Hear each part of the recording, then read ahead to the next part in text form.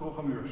Het Wittgenstein-project brengt het dramatische en bizarre verhaal van pianist Paul Wittgenstein. Deze telg van een schatrijke Weense familie verloor in de Eerste Wereldoorlog zijn rechterarm. Hierop schreven talloze bekende componisten uh, werken voor zijn linkerhand.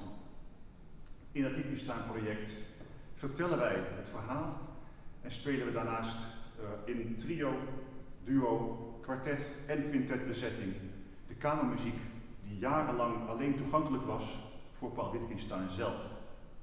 Een van deze stukken eh, is het nu volgende trio uit 1919 van Jozef Laber.